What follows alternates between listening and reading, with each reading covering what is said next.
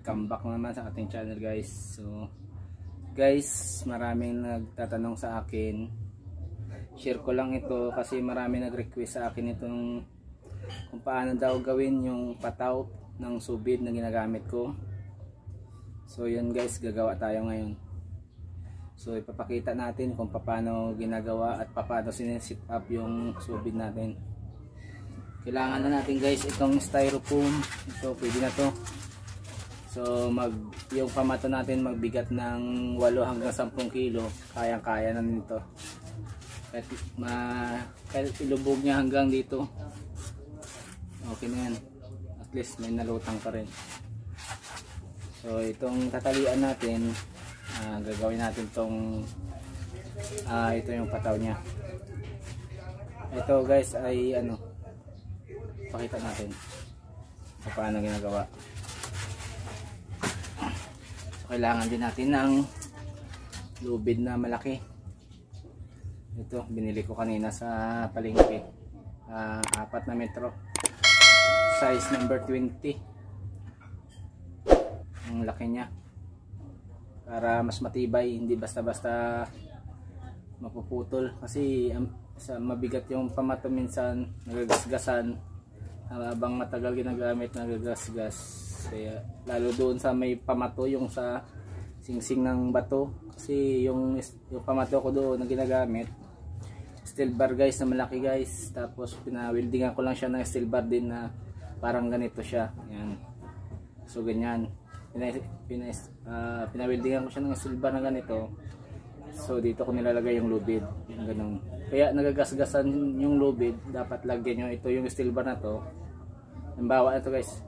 Uh, bakal halimbawa ito bakal steel bar. Uh, nagagasgasan yung lubid natin na ito, nagagasgasan ito sa galaw-galaw lalo hinihila natin yung pataw natin. Kailangan natin lagyan natin ito ng balot. Balutan natin. O mas maigi lagyan natin ng hose, yung ginagamit nating hose na sa tubig, yung malaki. Yun iwain lang natin yung guys. Tapos ipasok natin dito bago talian. Yun maganda yun. O tila. Pwede rin. Balutin mo ng tila pero mas maganda talaga hose o, so yun guys. Uh, start tayo magawa. So tataliin tatalian muna natin to. After pagkatalik natin uh, lalagyan na natin siya ng lubid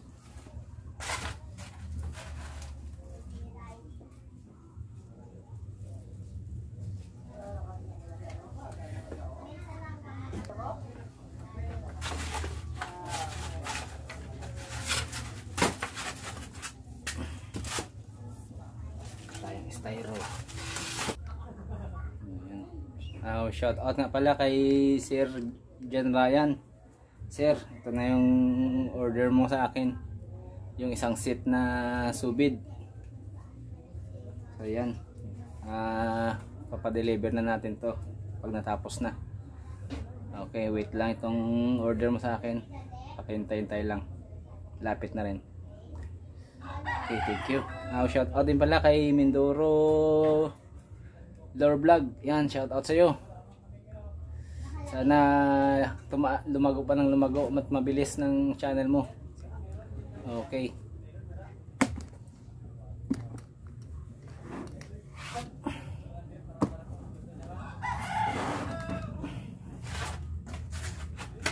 So yun guys, kalian natin.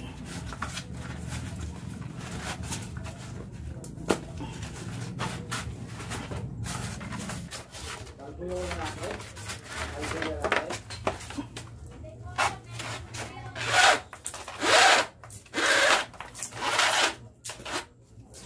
gagawa lang muna tayo nitong guys ng ano. Ito muna. Talian lang muna natin siya bago i-kabit lang natin yung lubid.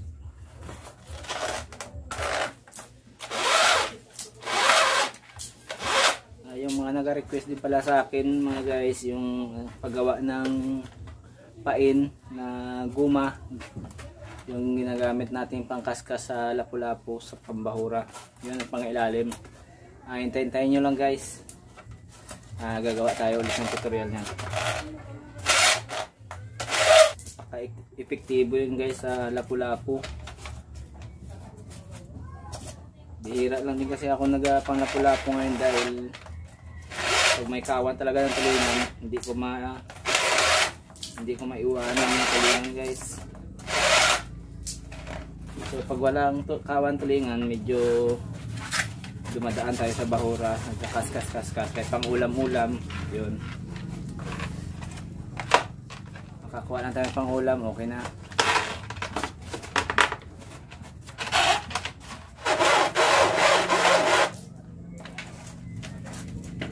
Yun, ayos.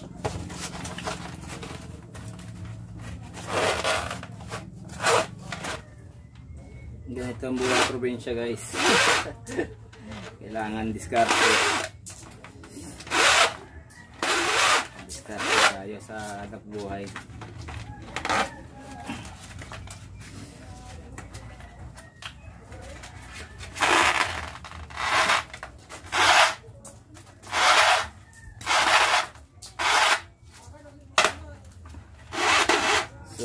Ganito guys, uh, ganitong klase ng hanap buhay, yung pantulingan, kailangan natin ng tiyaga guys, na magbantay ng kawan. Kung alam natin minsan na nadaanan natin minsan sa laot na may, sa ganitong oras may lumalabas dyan sa lugar na yan. So balik-balikan nyo lang guys kasi minsan talaga lumalabas talaga yung isda sa ganitong oras. Kaya talaga dapat ma tiyaga ka rin makabang. So meron din naman talaga minsan na pagdating mo sa laot maharang ka ng ng kawan. So medyo siniswerte okay din.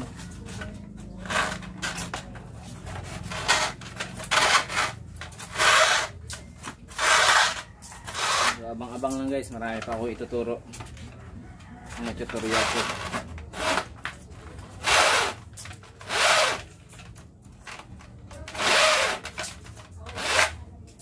sa susunod gagawa naman tayo ng tutorial sa paggawa ng pain sa tangigi ngayon di na kasi ako nakatangigi dahil dahil din sa ano panghuli ng tulingan guys.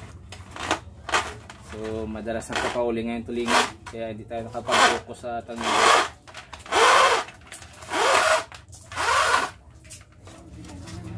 yung pinaka-paborito kong pain guys sa tangigi yung tinatawag nilang robot-robot. Yun Tsaka yung limbag sa amin tawagin yung spoon. Yun, gagawa tayo yung guys, spoon. Yun, guys. Gagawa tayo nun.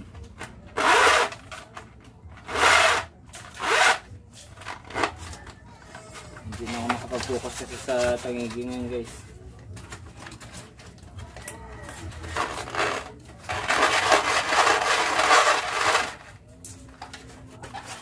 So yun guys, ito na guys, uh, gawa na. So lalagyan na natin to siya ng lubid.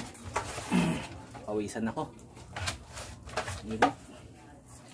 Ito guys, uh, gagawa muna na siya ng tinga-tinga para sa ating dulo ng ano, dulo ng subid natin. Yung sa amin dito kasi guys, tawagin yan bahan o kaya itarak-tarak depende sa inyo. Anong tawag nito diyan sa inyo? Uh, anong tawag ba diyan tapsay?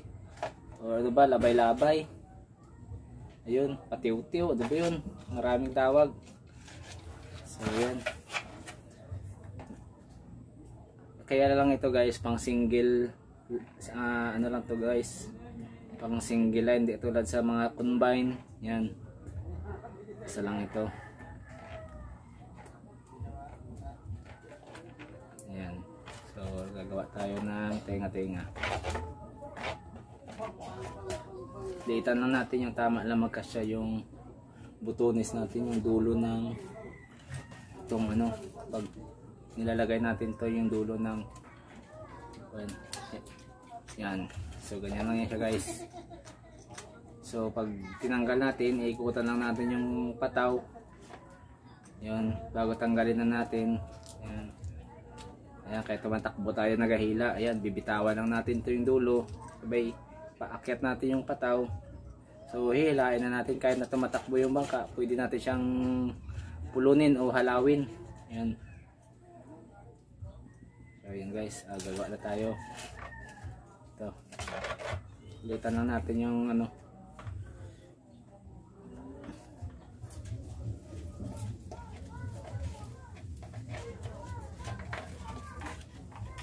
Ayan na guys. So nagawa na natin. Ito.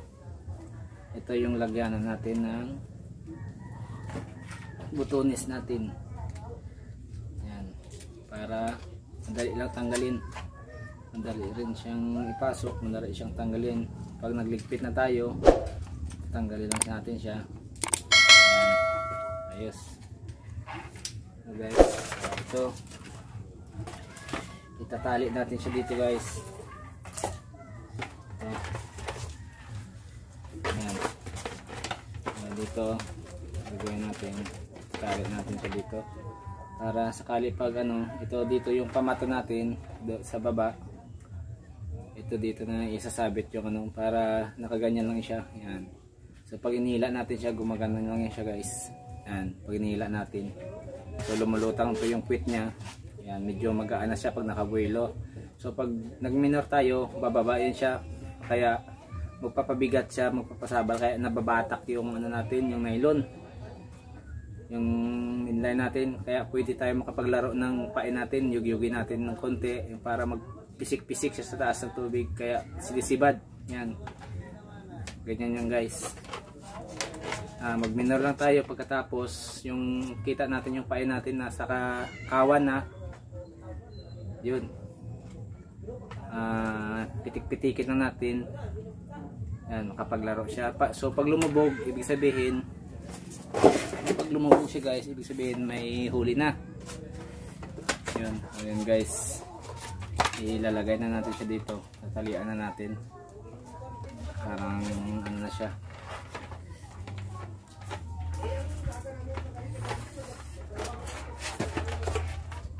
So guys, bukuhan natin dito guys para hindi siya mabatak pababa ng pamato. Para talian natin, lalagyan natin siya ng buko. Sukat lang natin dito siya guys sa kung saan naabot yung buko niya.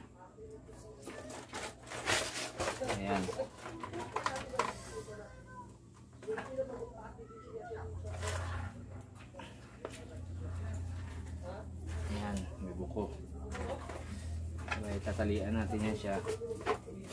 Dito. Itatali natin yung buko dyan para lock, may lock siya. Hindi siya magbaba. Ito yung bilang magsilbing tigil niya.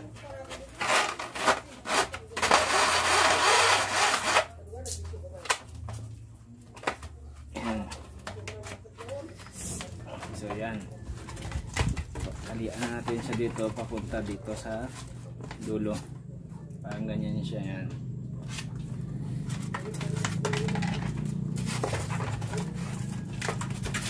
Tatali natin siya.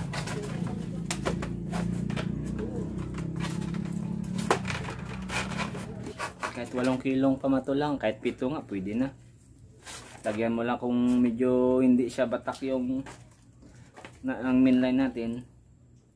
Lagyan mo lang ng lambat dito sa likod. Sa, lagay mo lang dito ng kunting lubid na extension mga kahit 1 feet lang nga ba. Tapos lambat na para bumigat.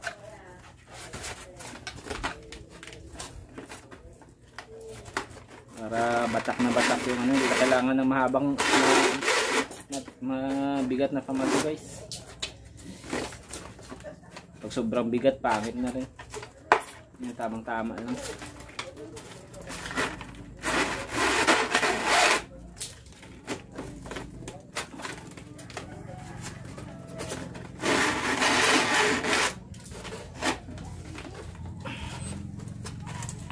ito na guys yung mga yung request nyo sa akin na paggawa ng patay.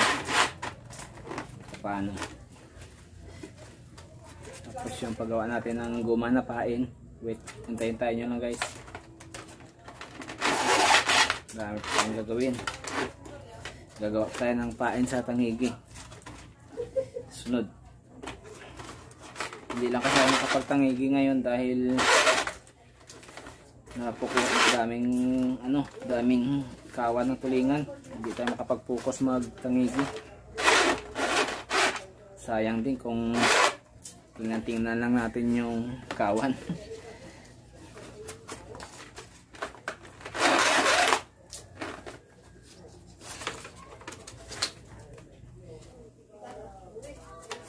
Ayan guys. Yun ang ano yan ang forma nya so yan tapos ito. Dito natin ilalagay ang pamato yan dito guys pwede ito lagyan ng lambat. Yan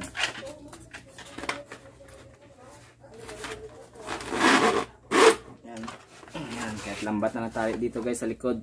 Ito. Yan pag medyo hindi pa batak lagyan mo ng lambat. Yan sigurado siya dyan na babatakin siya ng lambat. Yan ano guys. Ito puputulin natin. Gagawa natin siya ng juwin para sakaling naikot-ikot yung pamato.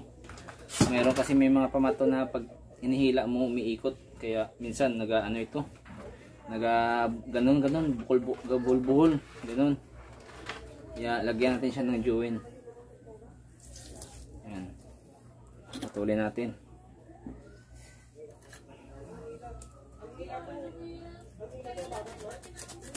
Ayan, putol na.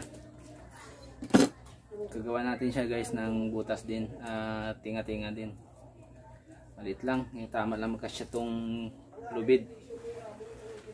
Ayan, kasi bubukuhan natin dito. Lagyan natin siya ng buko. Para sakaling naikot-ikot siya, at least may dewy na siya. Hindi na siya magkulubot-kulubot. Ayan.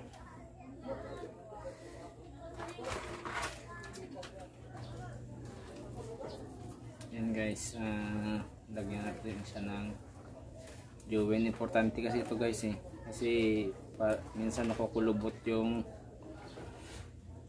lubid natin pag walang ganito. So dapat kailangan may juwen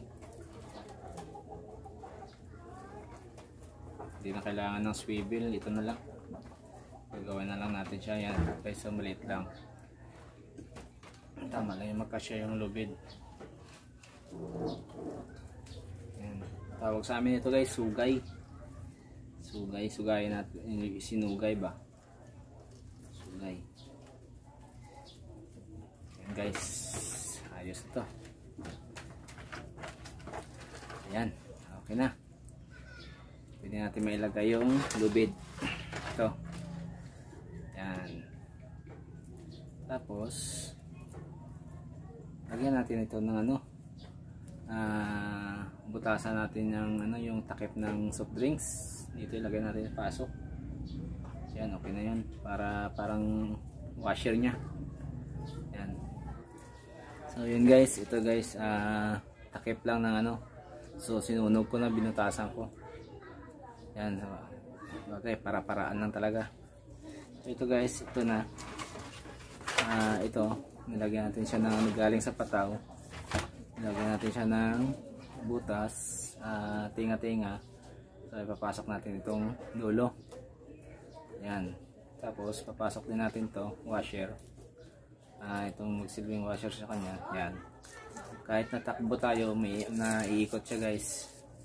So ayan. Uh, gagawa na lang natin to ng bukuhan na lang natin. Taliin na natin. Para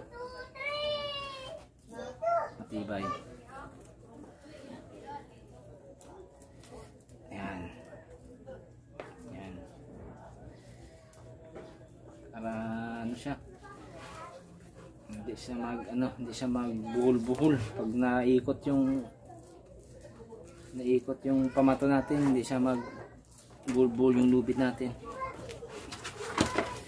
ayan ayan guys okay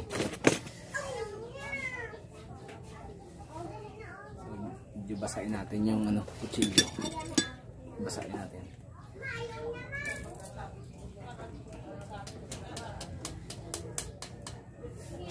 Basahin natin para siya didikit.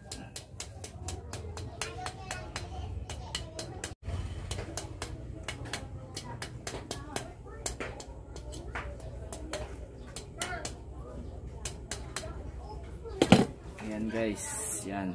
Make sure talagang hindi siya hindi siya talaga kakalas niyan. Uh, nakadikit na siya. Yan. Yan. So, ganyan guys. Ay, lagyan ko na, na yan. So, yung pamato natin dito sa dulo. Yan. Dito sa dulo naman yung pamato natin. Magmula dito. Yan. Ayun na, medyo win na siya. Tapos yung pamato naman dito. Lagi, uh, yung, yung kung steel bar guys yung ano natin kailangan may tinga-tinga din yun para uh, gawaan nila natin ng ano, sugayin lang natin para ganun pero siguraduhin nyo guys pag ang ano yung steel bar nyo na yung tinga-tinga niya makinis hindi yung ano kasi nagagasgas ito napuputol maiiwan yung pamato nyo sayang. Eh, dapat siguraduhin nyo siya nakabalot siya ng ano hose o kaya tila pero mas maigi talaga hose. So yan guys. So ayan. Uh, ito guys pakita ko lang sa inyo kung paano so yan guys ipakita ko sa inyo guys kung paano sinisit up ito siyempre itong buya natin. Lalagay na natin to yung dulo ng subid natin. Ito. Ibutunis lang natin siya guys. Yan yan okay na. Yan itong midline bali ito guys ay order sa akin. Uh, isang set ito. Blinag ko lang para mapakita ma, ma instruction ko sa inyo kung paano ginagamit. So ayan guys. Yung pataw yung pataw na, na ang pataw natin. Tapos ito yung main line nya ito yung main line nya yan ito. Magmula dito sa main line pinakamababa. Yan hanggang pahaba ng pahaba yan siya. Yan yan. Pahaba ng pahaba yung branch line natin. So yan. Ito yung mga pain. Ayan nakasabit sa bintana. Ayan. Okay. And guys. So so ayan guys. Uh, so hanggang dito na lang tayo. At napa napakita ko na yung kung paano ginawa yung pataw ng ginagamit nating subid at saka abangan nyo sa susunod guys. Uh, gagawa na tayo ng pain para sa pangilalim. Yung ginamit ko nakaraan na guma. Yun marami nagatanong sa akin noon kung paano paano katingin. Paano ginagawa. Yan Tsaka yung ano yung mga pain natin sa tangigi guys.